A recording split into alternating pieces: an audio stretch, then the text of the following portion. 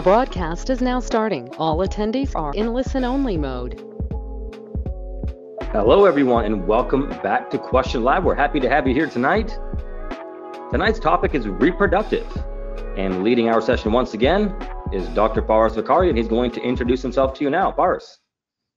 Thank you, Sean. Hey guys, my name is Paras. I'm a uh, currently working in dermatology, and I'm also an RX coach with USMLE RX. So I work one-on-one with students such as you guys to help prepare you all for the USMLE Step 1 and Step 2 CK as well. And I'm happy to help lead tonight's session.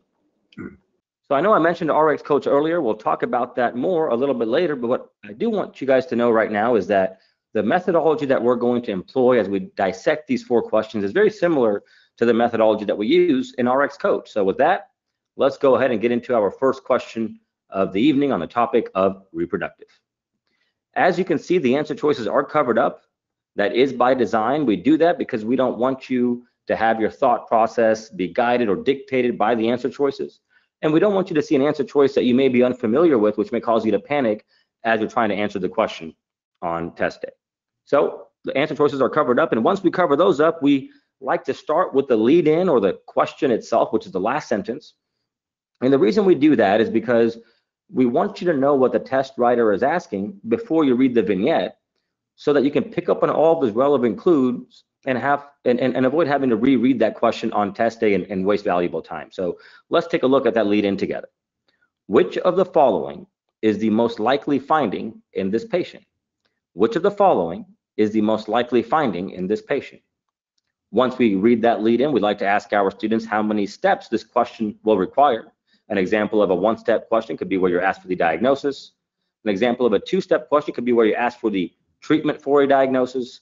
And an example of a three-step question is when you're asked for the mechanism for a treatment for a diagnosis. So with that in mind, please let us know in the question box how many steps you believe this question will require, and then we'll move on to that vignette. And the reason we do that is because we want you to have an organized thought process so that you stay consistent and don't make any careless mistakes, but also so that you answer the right question on test day. I see the responses coming in. Let's take a look at that vignette. A 17-year-old boy is brought to the clinic because he has not developed signs of puberty and has behavior problems at school. He has erections but does not ejaculate. Vital signs are normal. Physical examination shows a tall height for age, no body hair, small penis, small firm testes, and mild gynecomastia. The prolactin level is normal and luteinizing hormone and follicle stimulating hormone levels are increased. Which of the following is the most likely finding in this patient? I want all of you to start thinking about the important clues in the vignette and lead-in as I hand it off to Paras. Thank you, Sean. So what we're going to do is we're going to go ahead and show you what we think are those important clues in the vignette and the lead-in. So starting off, generally, you know, the first thing you're going to get are demographics. In this case, we're told this is a 17-year-old boy. Okay, so automatically we can start to think of uh, certain things um, that this question might be getting at. Okay, so you want to make note of those demographics, and then you want to make note of why is he coming in uh, to see the doctor, to the clinic, to the ER. And in this case, it's because he has not developed signs of puberty and has behavioral problems at school okay? So those are what we call presenting signs and symptoms, okay? Now in this case, they didn't tell us how long it's going on for. Sometimes they'll say, hey, this is going on for a couple days, a couple years, so you get a sense of the chronicity of the condition. So you would want to make note of that as well. Now in this case, they also tell us about uh, some very important um, other uh, pertinent history as well as some very important physical exam findings and lab findings, okay?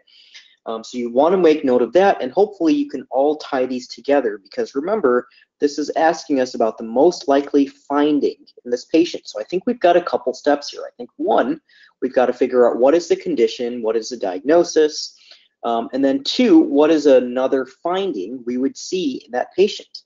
So I think we've got a two-step question here. So let's go ahead and let's take a look at those answer choices. And once again, um, you know, when we work with students and we go through the answer choices that we actually recommend starting at the bottom and working your way up to the top. So starting with answer choice E and going up to answer choice A. Okay, and the reason we do this is because a lot of times we'll see students who start at the top, they'll select something they like, um, and they'll select that answer without going through all the answer choices. So sometimes they'll get that question wrong as a result. So we recommend doing it this way to prevent yourself from making that mistake. Okay, so let's go ahead and let's do that now. Answer choice E, fibrosis of the seminiferous tubules. Decre D, decreased gonadotropin releasing hormone. C, decreased follicle stimulating hormone. B, congenital adrenal hyperplasia. And A, cellular resistance to testosterone. So we're going to go ahead and open up that poll. Go ahead and select what you think is the best answer here, and we'll talk about it in just a few seconds. Excellent. Thank you, Paras. The poll is open. Remember that as always, we do have a special offer and a raffle at the end. You must stick around because you must be present to win. So maybe you'll be our lucky winner tonight. We'll give all of you a few moments here to lock in your answers.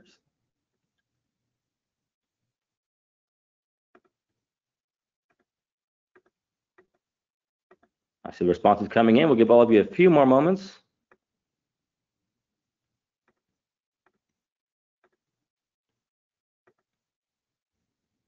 A little over half of you have responded. Remember that there is no penalty for guessing on test day, so you should never leave a question blank. If you're at a loss, just take your best guess. All right, let's take a look and see what all of you selected. Well, 35% of you was second choice. We had E. Number one with 37% was answer choice D. Let's take a look and see what the correct answer is.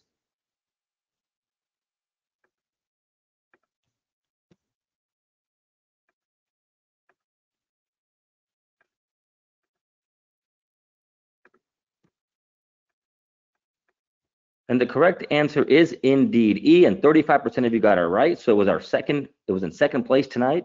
Let me go ahead and hand it off to Paras. Thank you, Sean. Let's take a look at this question, okay? So this is definitely a tough question, all right? So this 17-year-old boy has a couple abnormalities that we picked up on right off the bat, okay? Gynecomastia and increased LH and FSH, okay? Now, importantly, this patient has not developed pubertal signs of genital and testicular enlargement. The patient also does not have body hair or pubic hair. So this all suggests that the patient has primary hypogonadism due to testicular failure. So primary hypogonadism, okay? And without any history of trauma, any other medical illnesses, a genetic disorder is thus most likely, and the most common of these is Klinefelter syndrome. Okay, so if we take a look at the next slide, we can take a look at Klinefelter syndrome. Okay, and you can see here that this is um, a chromosomal disorder, and patients present with small, firm testes. They are often tall with increased uh, bone length. Gyne they would have gynecomastia, they would also, as you can see there, have increased LH and FSH on the right. And as you can see, the reason they have increased FSH is because of dysgenesis of the seminiferous tubules, okay? Which is essentially what answer choice E was, okay? So if we go back to our question, you can see now why answer choice E is the best answer, okay? So Klinefelter syndrome can lead to fibrosis of the seminiferous tubules and thus uh, would lead to increased FSH and also LH as well, okay? And because of that, you have excess gonadotropins, which in turn increase estrogen levels and thus can cause gynecomastia. Okay, now the other answer choices, in case you selected that, decreased GnRH, that is also known as Kallmann syndrome, where you have absent puberty, an impaired sense of smell or anosmia. Decreased FSH, that would be seen in some patients with a prolactinoma, for example. Uh, we were told the prolactin level here is normal. Answer choice B, congenital adrenal hyperplasia. Uh, that is also a genetic enzyme deficiency. Most types result in female genitalia, um, sorry, most types of CAH where you have virilizing symptoms um, uh, of, of, CAH. You can also have uh, 17 alpha hydroxylase deficiency, uh, where you would show female type genitalia in a male patient, We would also have hypertension and high mineralocorticoids, so kind of ruling out an adrenal cause here. And then lastly, answer choice A, cellular resistance to testosterone. This is also known as androgen insensitivity syndrome, where you have complete insensitivity or partial insensitivity to androgen. So you have high testosterone levels. Patients would look female with undervirilization and infertility, but they would have female external genitalia, blind vaginas, um, a little bit different than what this patient has. The best answer choice here is answer choice E. Well, thank you very much, Paul. Definitely a challenging question. Reproductive tends to be challenging for most students, which is why we're tackling it tonight. Let's move on now to our second question of the evening. Once again, the answer choices are covered up. That is by design. And as always, we'll begin with that lead in. If present in this patient's history, which of the following would most predispose the patient to her likely diagnosis? If present in this patient's history, which of the following would most predispose the patient to her likely diagnosis? I'll give all of you a few more moments here to respond in the question box and let us know any steps you believe this question will require. And then we'll take a look at that vignette.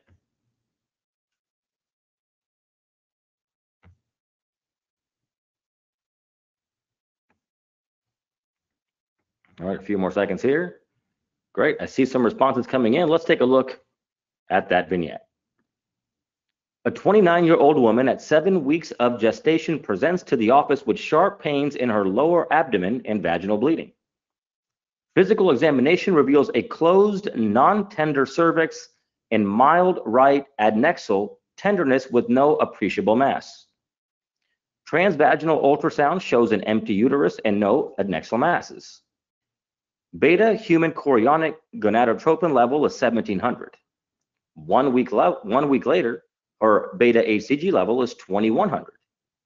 If present in this patient's history, which of the following would most predispose the patient to her likely diagnosis? Paras. Thank you, Sean. So now we're going to take a look at what we think the important uh, clues in this vignette and lead-in are. Okay, so now we've got a 29-year-old woman, all right? And right off the bat, they tell us a little, little bit about her gestation and that she's seven weeks of gestation. So automatically, we kind of know what question this is. Um, whenever they give you something like that about gestation right off the bat, definitely want to make note of that. And you don't want to forget that important clue, okay? Now, she is coming in because she has sharp pains in her lower abdomen and vaginal bleeding, okay?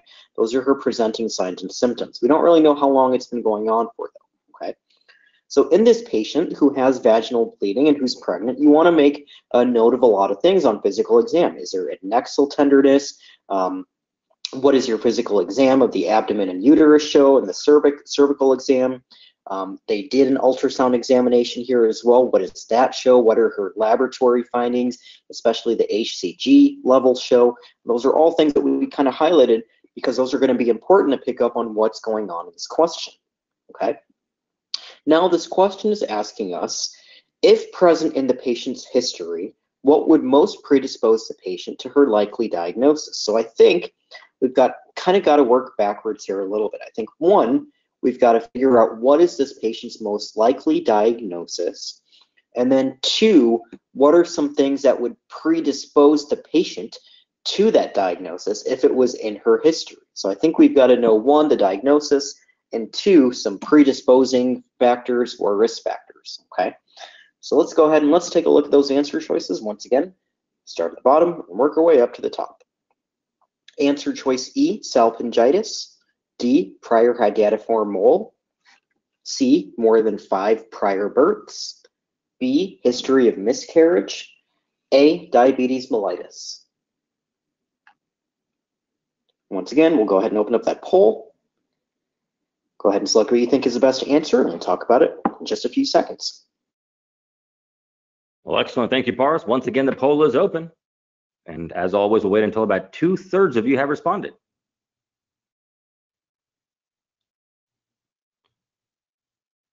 Looks like there's already a clear favorite.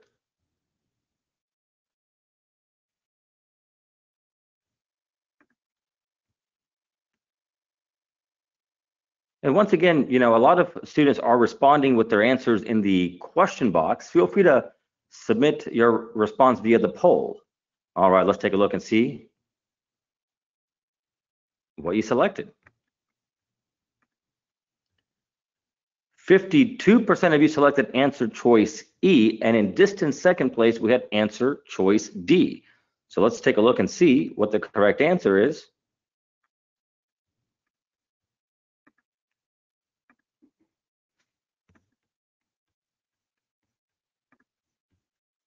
Sorry for the technical difficulties here today.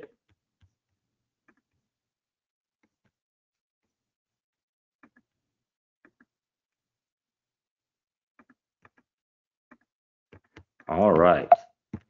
And the correct answer is indeed E, and 52% of you got it right. So great job, everyone.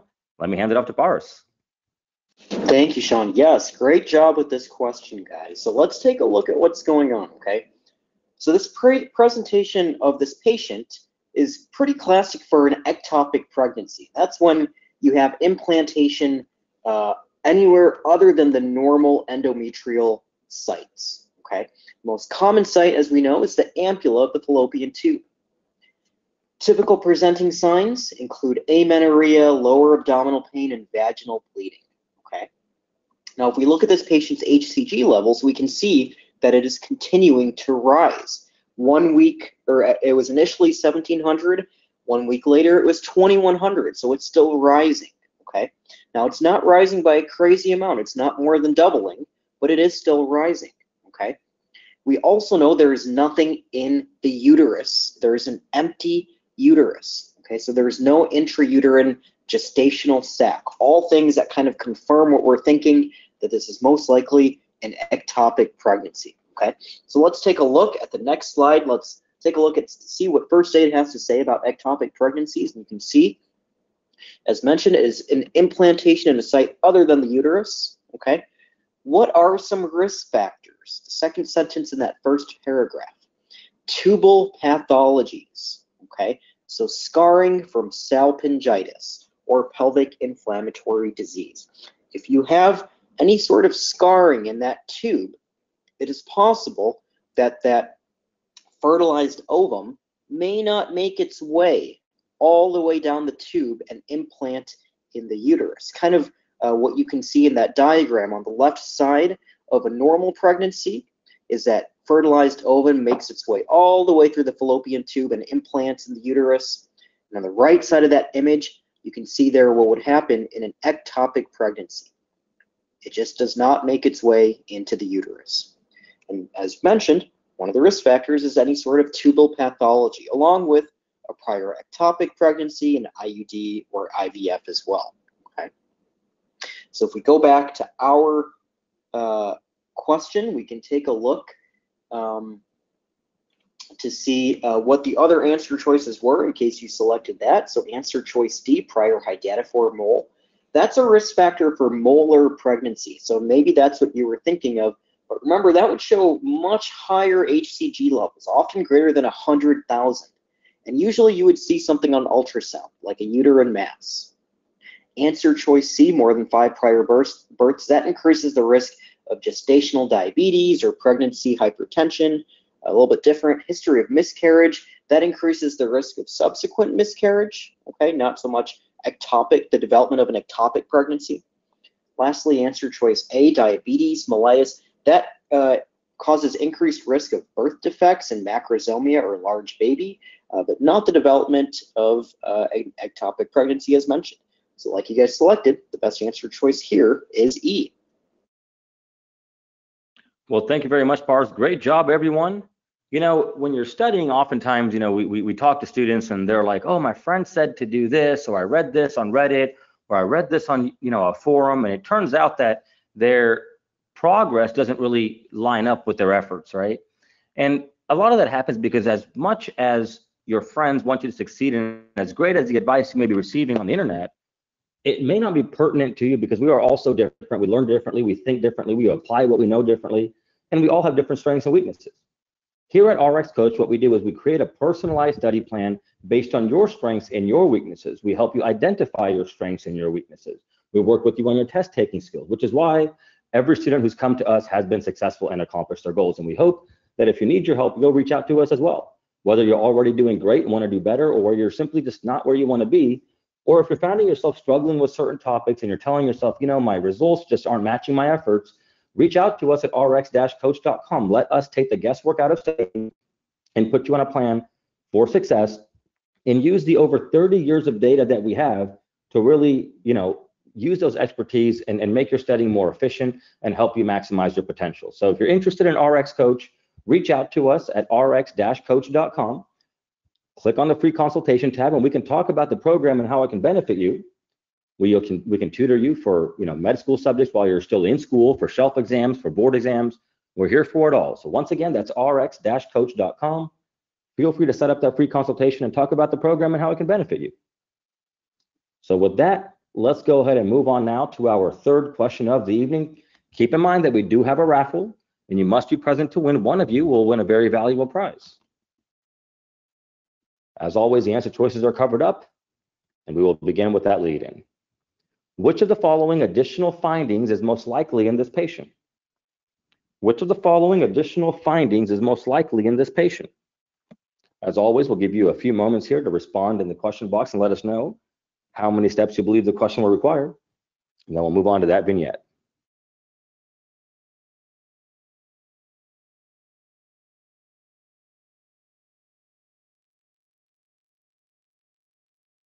See some responses coming in. We'll give all of you a couple more seconds here.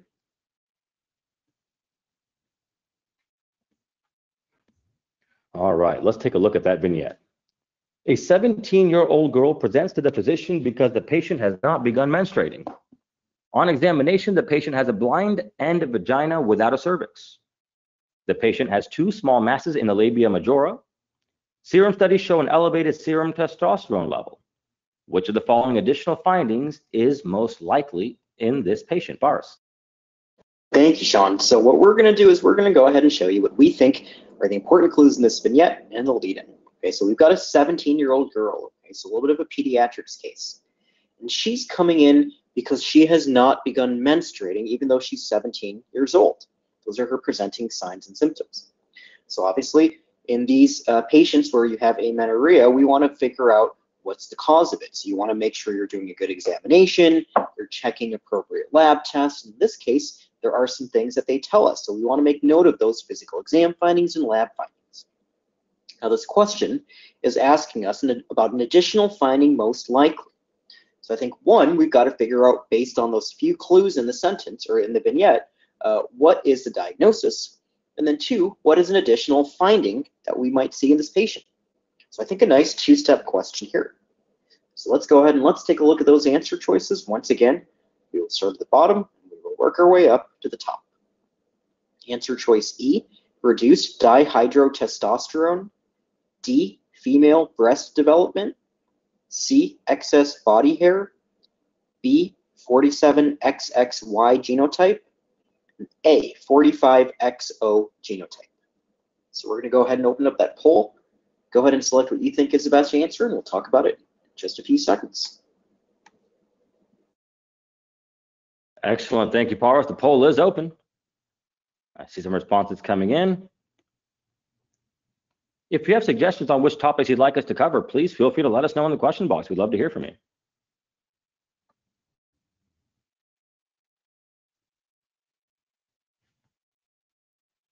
I see about a quarter of you have voted so far. Few more moments here.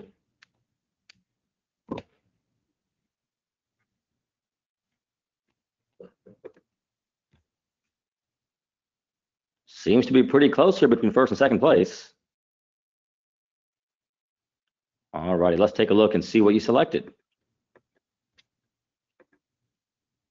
So 32% of you selected C, excess body here in second place with 26%. We had female breast development. So let's take a look and see what the correct answer is.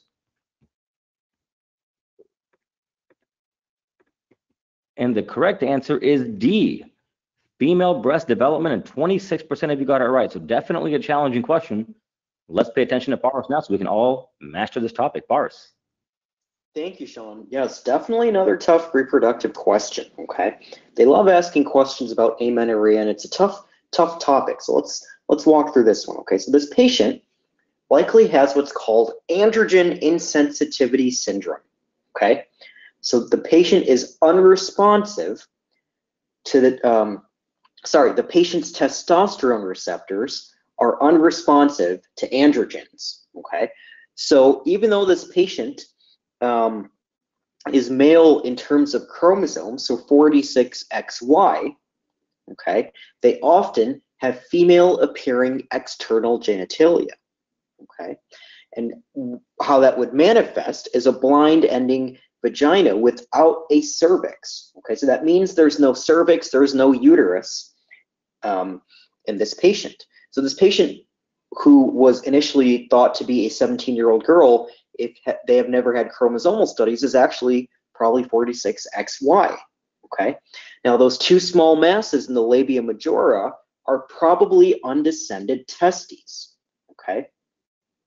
And so the reason this patient was uh, uh, told us to be 17 year old girls because at birth, sex assignment is usually most often female because they have external female appearing genitalia. Okay, so if we take a look at the next slide, we can take a look to, at uh, androgen insensitivity syndrome. And you can see that this results in female appearing genetic uh, males, or 46XY, okay? Female external genitalia with the rudimentary vagina, meaning they do not have a uterus, they do not have fallopian tubes, okay? And another thing that this patient might have is a female habitus, female breast development as well. Okay, and the reason is because the body, uh, the testosterone receptors are insensitive to androgens. So you would have, um, through negative feedback, you would have an, a rise in LH. And because of that, you have high testosterone and usually converted to estrogen via aromatization. Okay, so that's why this patient might develop female appearing breasts. So if we go back to our question and the other answer choices, hopefully you can see why answer choice D is the best answer here. The other answer choices, answer choice E, for example, reduced DH, uh, DHT, that describes 5-alpha reductase deficiency. So patients can't convert testosterone to dihydrotestosterone, um, and this leads to ambiguous genitalia until puberty, at which point the increase in testosterone leads to masculine genitalia. So this patient at 17 uh, would, would then have more masculine appearing genitalia. Answer choice C, excess body hair. That is more if the patient were to be uh, female, uh, 45, uh, XX, and they have virilization. Okay, so um, not the best answer there. Uh, answer choice B, once again, as we talked about previously, that's Klinefelter syndrome, uh, where you have a male phenotype small penis, infertility. Um, answer choice A, that's describing Turner syndrome, which as we know is a little bit different as well phenotypically. So the best answer choice here, like you guys, so uh, like 26% of you guys picked, is answer choice D. Well, thank you very much, Pars. Definitely a challenging question. Let's try to finish strong now with our last question of the evening on the topic of reproductive. Next week's topic, for those of you who are asking, is going to be high yield first year med school. So we're going to pick out some topics that were high yield from when you started med, med school or, or if you're starting now, five topics that you'll likely see soon. So make sure you join us next week for that. Last question of the evening. Once again, the answer choices are covered up and we will begin with that lead in. Which of the following is most likely to be seen in this patient? Which of the following is most likely to be seen in this patient? We'll give all of you a few moments here to respond in the question box and let us know how many steps you believe this question will require. Don't move on to that vignette.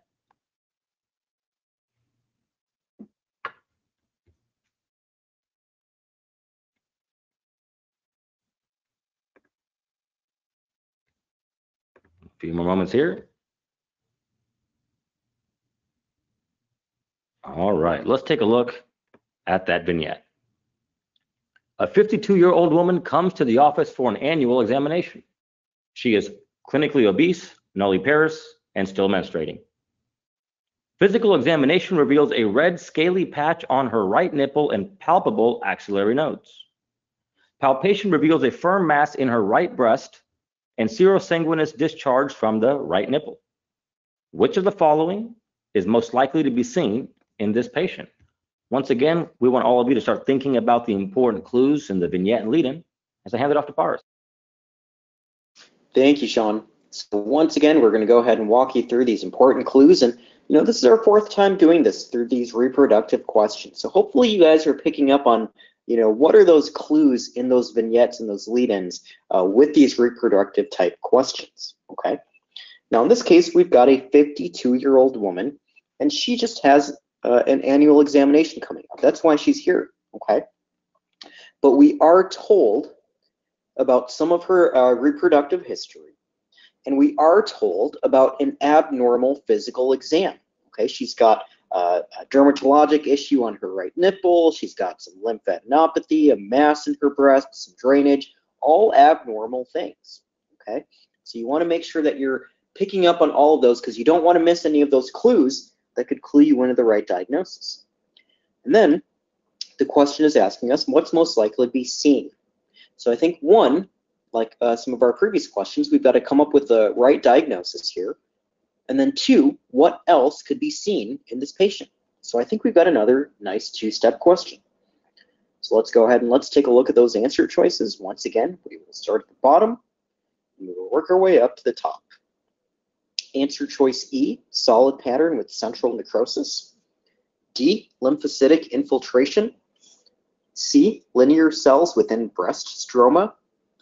B, large cells with clear halos.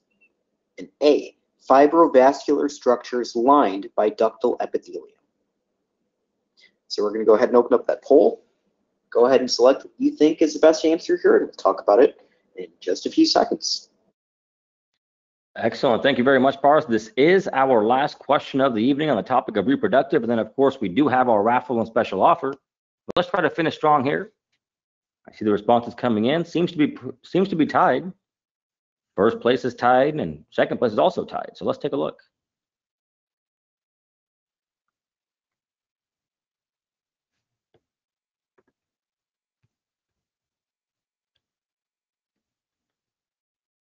About half of you have submitted your responses so far. We'll give all of you a few more moments here.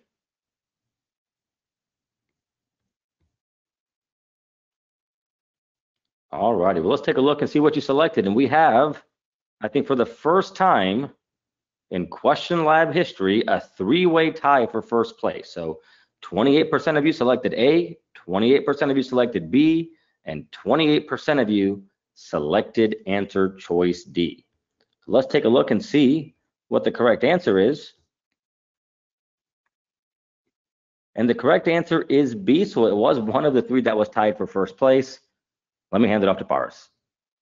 Thank you, Sean. Yes, definitely a tough question, and um, you know, definitely some some good other answer choices there as well. But the key here is picking up on the correct answer, and once you can get that first step, then you know that second step obviously becomes a little bit more straightforward. So let's kind of figure out what that first step was. What was the diagnosis here? Okay, this patient has a diagnosis, most likely, of Paget's disease of the breast. This is where patients have a eczematous patch on their nipple, okay? And usually an underlying mass within the breast as well. So if we go to, um, actually, um, we'll go to the uh, two slides forward from now. Um, and this is first looking at Paget's disease. Okay, this is um, basically when you have an eczematous patch over the nipple or the skin near the nipple. And basically what it's implying is that there's an underlying cancer underneath, which is why the patient in this situation had a firm mass in the breast as well. And we call it Paget's disease because Paget cells are basically uh, when you kind of have cell cancerous cells within the epidermis. So if we go back one slide, we take a look at the histology of Paget's disease. We've got these little cancerous cells that are surrounded by halos, okay? And these are called Paget, uh, uh, Pagetoid scatter, Pagetoid cells. You can see it in actually a couple conditions, um, Paget's disease of the breast, um, uh, sebaceous carcinoma, um, uh, uh, melanoma as well. So a couple things that can cause this Pagetoid scatter, but obviously when we're dealing with the breast, the most likely thing is Paget's disease of the breast. Okay, so this is what you would see on histology, and this is definitely a, a high yield histolo histologic image that they could ask you about. Okay, so let's go back to the other answer choices in case you selected that. Uh, one of the other answer choices. Answer choice E, solid pattern with central necrosis. That's getting at comedocarcinoma, uh, which kind of feels more cord-like. You can express some uh, cheese curd-like material. Answer choice D, lymphocytic infiltration. That's more of a medullary carcinoma, which is more like a well-circumscribed uh, soft mass. Answer choice C, linear cells within breast stroma. That's uh, kind of consistent with an infiltrating lobular carcinoma, which are uh, usually bilateral as well. Um, and lastly, answer choice A is characterizing an intraductal papilloma. Um, now remember, none of those other answer choices really have that presentation of a red scaly or eczematous patch near the nipple. Um, so those other answer choices kind of already don't even uh, fit that clinical presentation. So definitely some tough questions here on the tough topic of reproductive. But great job on these questions. And we'll pass it back to you, Sean. Well, thank you very much, Paras, and great job as always. We're always happy to have Paras and our wonderful coaches with us. If you would like to review these questions in on your own time in more detail to make sure you understood all the key concepts today, feel free to take a screenshot, a picture, or make note of these QIDs. You can simply type these into the RX search field within USMLE RX and it'll pull it right up for you. So I'll give all of you a few moments here to make note.